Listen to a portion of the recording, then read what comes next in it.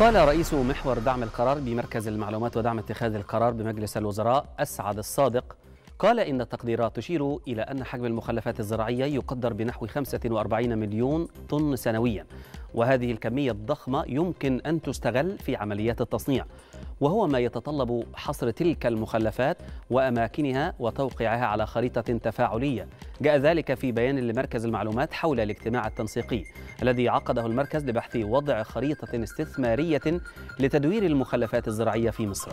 أضاف الصادق أن تحديات كيفية استغلال المخلفات الزراعية يساعد في منع التدهور البيئي وتوفير فرص العمل وتصنيع منتجات ذات عائد اقتصادي متميز.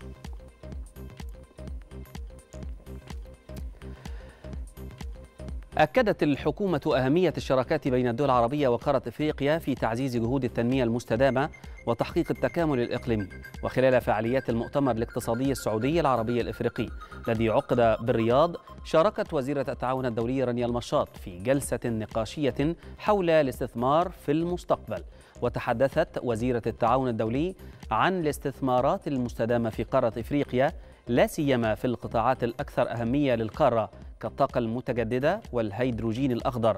وأوضحت الوزيرة أن مصر تضع تلك القطاعات على رأس أولوياتها.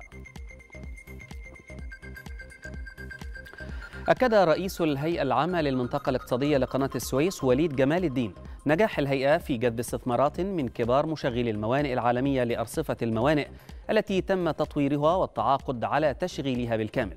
جاء ذلك خلال استقبال محمد مليكي وزير ثاني التعليم والشؤون الخارجية بدولة سنغافورة لبحث سبل التعاون.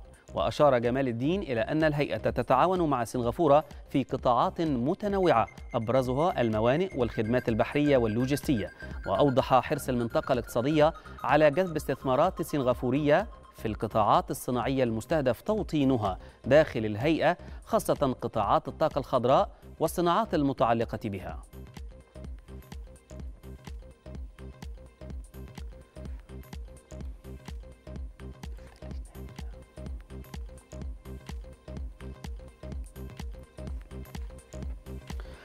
قامت الدولة بجهود كبيرة في قطاع الكهرباء فقد أطلقت مشروعات كبرى لزيادة القدرة التوليدية وتحديث البنية التحتية في قطاع الكهرباء. وضمن جهود الدولة لتوليد الكهرباء من طاقة الرياح فقد تم توقيع أربع مذكرات تفاهم لإنشاء محطات توليد طاقة من الرياح. أما توليد الكهرباء من الطاقة الشمسية فتم إنشاء مجمع بنبان للطاقة الشمسية. جهود كبيرة قامت بها الدولة في قطاع الكهرباء فقد أطلقت الدولة مشروعات كبرى لزيادة القدرة التوليدية وتحديث البنية التحتية لهذا القطاع الحيوي. ففي عام 2016 تم اعتماد استراتيجية الطاقة المتكاملة بهدف إنتاج الكهرباء من الطاقات المتجددة بنسبة 42% من مصادر إنتاج الكهرباء حتى عام 2030 ولصالح إنشاء مشروعات طاقة متجددة تم تخصيص مساحة تصل إلى 7600 كيلومتر مربع فضلا عن تحديد الرسوم الجمركية على مكونات مشروعات الطاقة المتجددة لتكون 2% بدلا من 5% وتخفيض ضريبة القيمة المضافة على الآلات والمعدات التي تخص مكونات مشروعات الطاقة المتجددة لتصل إلى 5% بدلا من 14% كما تم إنشاء المجلس الوطني للهيدروجين الأخضر ومشتقاته ويختص باقتراح الحلول اللازمة لتذليل معوقات الاستثمار في هذا المجال. وضمن جهود الدولة في توليد الكهرباء من طاقة الرياح تم توقيع أربع مذكرات تفاهم لإنشاء محطات لتوليد طاقة من الرياح تبلغ القدرات من طاقة الرياح 1630 ميجاوات.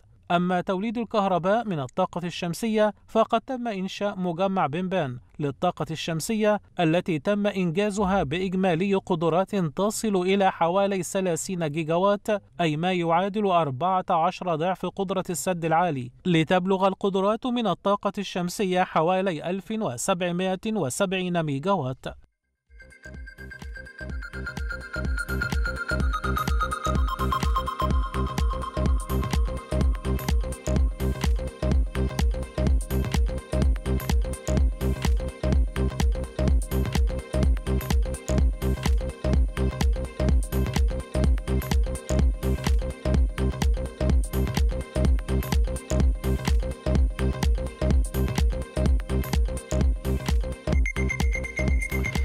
في أسواق البترول العالمية ارتفعت أسعار النفط قليلا لكنها تتجه لتسجيل انخفاض للأسبوع الثالث مع انحسار المخاوف من اضطراب الإمدادات بسبب الصراع بين الفلسطينيين والإسرائيليين ما يجعل المخاوف حيال الطلب تفرض نفسها من جديد. هذا ارتفعت العقود الآجلة لخام برنت بخمسة من عشرة بالمئة إلى 80 دولار و42 سنتا للبرميل. كما ارتفعت العقود الآجلة لخام غرب تكساس الوسيط الأمريكي 4 من عشرة بالمئة لتصل إلى 76 دولار و6 سنتات للبرميل. وارتفعت كذلك أسعار المازوت عالميا بنسبة 65 بالمئة لتصل إلى 2.73 دولار للتر وارتفعت أسعار الغاز الطبيعي بنسبة 86 بالمئة لتسجل 3.7 دولار لكل مليون وحدة حرارية بريطانية. في أسواق الآسيوية انخفض المؤشر نيكي الياباني بعد ميل للتجديد النقدي من رئيس مجلس الاحتياطي الاتحادي الأمريكي.